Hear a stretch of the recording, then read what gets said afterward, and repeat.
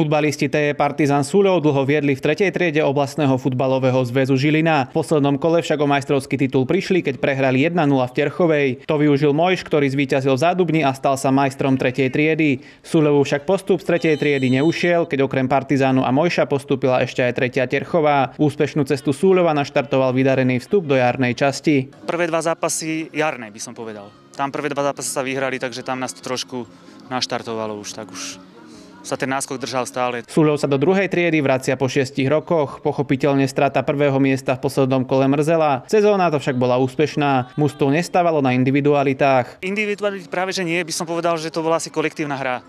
Prakticky chalani bojovali jeden za druhého, mladými hráčmi sme doplnili, čo fakt prinieslo úspech a fakt musím povedať, že mužstvo podávalo výkony, ktoré asi sme si možno zaslúžili ten postup, by som povedal. Kvalita súperov pôjde hore. Toho sú si vedomi aj v Súľove a nechcú zopakovať sezónu 2016-2017, kedy mužstvo skončilo posledné v druhej triede. Tak vyzerá to, malo by to byť kvalitatívnejšie, ale tak dúfam, že nebudeme hrať nejaké posledné husle alebo čo, tak veríme si, že ten stred by sme mohli udržať.